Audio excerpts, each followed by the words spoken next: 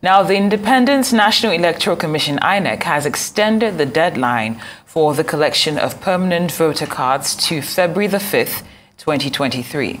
INEC earlier extended the deadline for the collection of PVCs, but a national commissioner with the electoral umpire, that's Festus Okoye, said the time frame has been pushed forward by one week.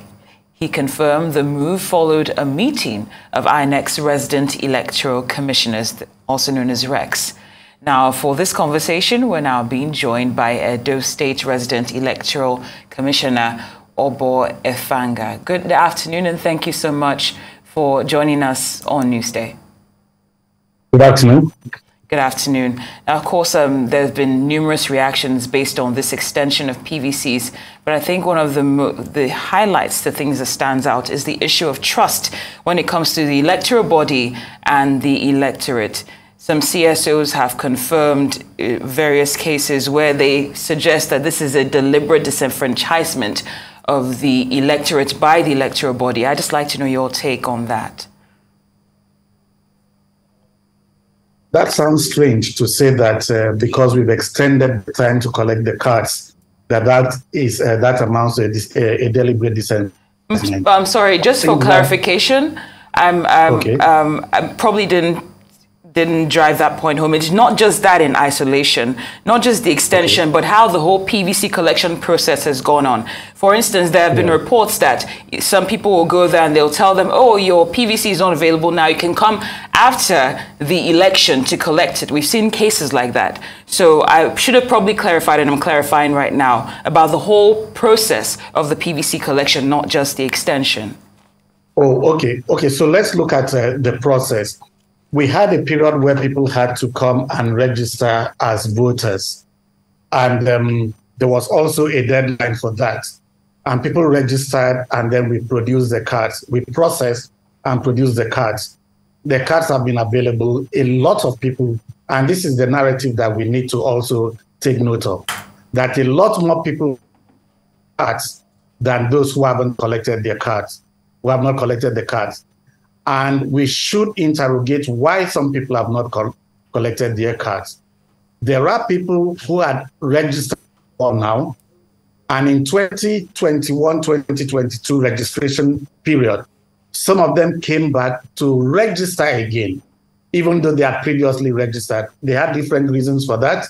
Some they may have lost their cards and did not take advantage of the process of requesting a new card when they had lost their cards. Or maybe something changed about their information, their name, or where they lived, uh, where they intended to vote. There were many people who, rather than ask us to update their information or do a transfer, attempted to register. Some actually deliberately attempted to register more than once. For those kind of people, they don't have any new cards. So we've seen a lot of people who said they registered during that period they hoping that the cards would be available, and they've come and they've discovered that they they don't have cards because we are uh, um, they are part of those that we nulled for attempt at multiple registration. Now, for those who are legitimately registered and their cards are available, they have been picking them up. There are a few instances, there are a few cases where the cards may not have been printed for some reason. And as many of those cases that we found at the of them coming to collect, we created a portal for this uh, uh, officials that attended to them to make a request to headquarters for those cards to be printed. And so in the last few weeks, a lot more have been coming in. In my state, for instance, last week we got um, a tranche of cards, more than 500 uh, of those cards. And um, over the weekend, that tranche, and we are sorting that to send to the local government offices for people to collect. There is no way INEC will deliberately refuse people who have registered and voters' cards have been produced for them and will deliberately deny the opportunity to pick up their cards.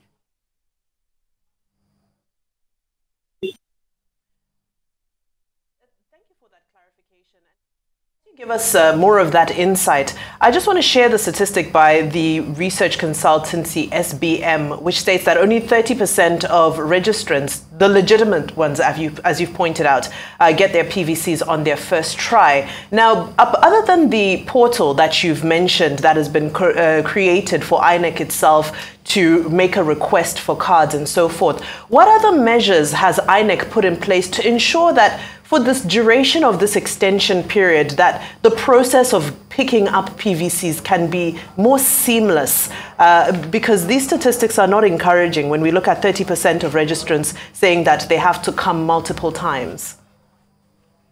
Well, I, I, I don't know uh, the veracity of these statistics, but I also have my records of people who registered during this period, how many of those cards have been uh, sent to us, and how many of those cards have been picked up.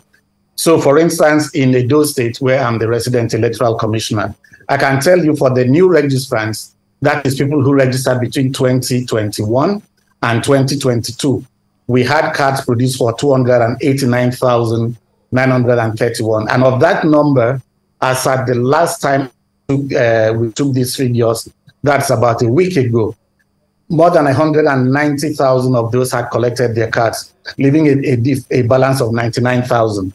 Now, for the transfer cards, we had 129,000 plus who did the transfer, and total number collected so far is about 86,000, leaving a balance of about 41,000 that have not been collected.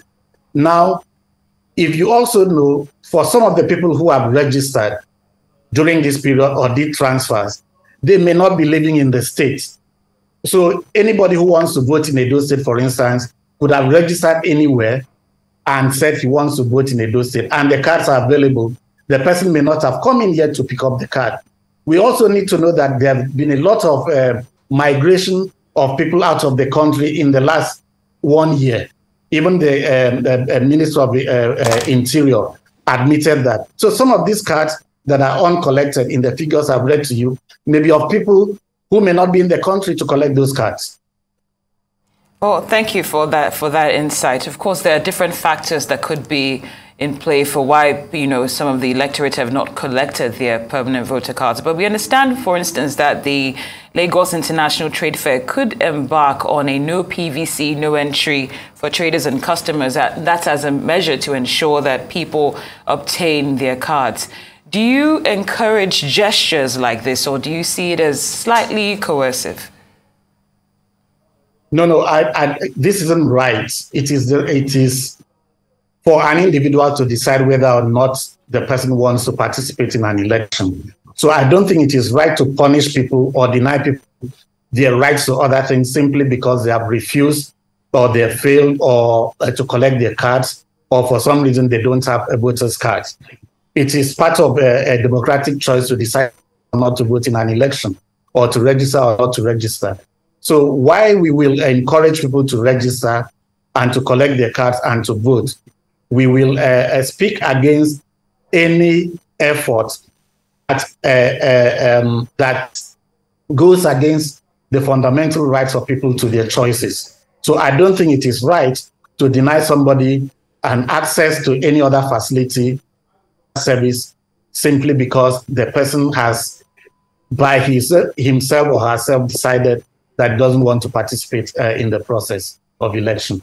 Uh, now, sir, please could you kindly uh, elaborate for us what are some of the things that INEC has done to ease the process? Because uh, when you read social media, when you speak to people, the biggest issue is not necessarily ending up with the PVC in your hand. People are collecting it. However, people have said they have to be resilient. People have said that they have gone through all manner of, uh, in many cases, some people are even saying that they feel that there's a degree of voter suppression and segregation that's happening in how the selection of the people who are allowed to collect their PVCs are. How is INEC going to address this, this very dominant issue uh, during this extension period?